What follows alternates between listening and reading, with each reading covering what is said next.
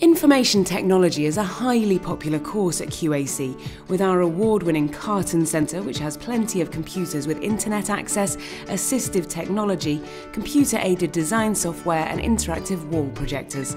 Students can study at entry level 3, level 1, level 2, and level 3. The world that we currently live in uses a lot of technology. Students have varying needs. As a specialist college, it's down to us as a team to make sure that we can cater for them and get into the end goal. What we do in the course is we incorporate game design, graphic manipulation. How to run a successful help desk. Uh, word processing and Excel and you know managing data. It sets them up for the future, so it might be employment or it might be even going on to higher education. It's a fun atmosphere, it's got great learning opportunities, and the staff are really helpful in terms of uh, if you get stuck on your work, all you need to do is just ask.